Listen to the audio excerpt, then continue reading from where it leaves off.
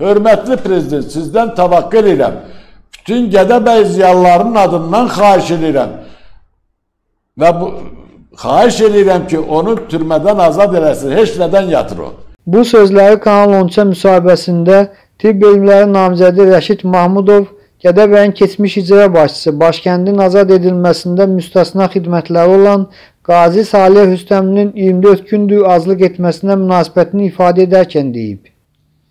O nahaq tutulubsan bilirəm, amma biz də sənin arxandayıq, ziyalılar sənin arxandadır. Rəşid müəllim, e, başqa bir e, məsələyə toxunmaq istəyirəm. E, yəqin ki, məlumatınız var. Gədəbəyin keçmiş icra başçısı Başkəndin azad edilməsində xüsusi rol olan Qazi Salih Hüstəmli 20 gündən çoxdur həbsxanada azlıq edir. Həbsdən azad olmaq istəyir. Bununla bağlı da sosial şəbəkələrdə hər gün yüzlərlə, minlərlə insanlar e, Salih bəyin azadlığını tələb edirlər. Hətta bir qrup hüquq müdafiəçisi, eyni zamanda ictimai xadim ölkə başçısına da müraciət edib. Ancaq hələ ki ortada bir nəticə yoxdur. Onun da vəziyyətinin ağır olduğu deyilir. Bir ziyalı kimi, bir Gədəbəyli kimi e, sizin bu məsələdə mövqeyinizi bildirməyinizi istərdim. Bir qaziyə bu qədər zülm edilməsi, bu bu qədər 20 gündən çoxdur azdırsa, onun diqqət yetirilməməsi nə dərəcədə doğrudur? Əvvəla mən bunu yaxşı bilirəm. Salih Rüstəmov bizim Qara Gədəbəydə bilirsən baş kəndin alınmasında böyük əmək olub. O insan çox bilirsən nə də olub burada? bizim ölkəmizdə nətərdir? Mən buradan bütün Gədəbəylilərə deyirəm.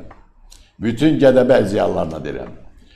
Salih Rüstəmov türmədən buraxılmalıdır dövlətimizdən və prezidentdən xahiş edirəm. Onu orada türmədə saxlamaqla eşləyirəm. Nə işi var mən bilmirəm, nəyin üstə tutulub bilmirəm valla. Güya boynuna qoyublar kiməsə pul verir. Bəli, bəli. bəli. Ay kişi, prezident həm müxalifətin prezidentidir. Müxalifətdə olan insanların prezidentidir.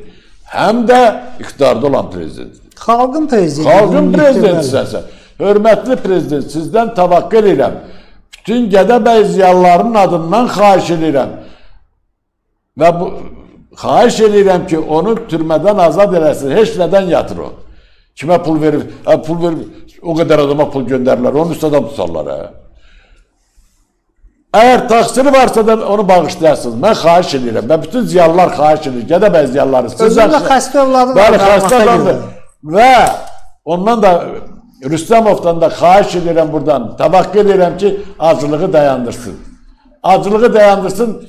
O nahaq tutulubsan bilirəm, amma biz də sənin arxandayıq. Ziyalılar sənin arxandadır. Bütün Gədəbəyliləri çağırıram ki, e, Rüstəmov azadlığa buraxılsın prezidentdən təvəqqə edirəm, əfv eləsin. Günahı da varsa da, səhvi də varsa da biz xahiş edirik onu əfv eləsin. Təvəqqə edirik.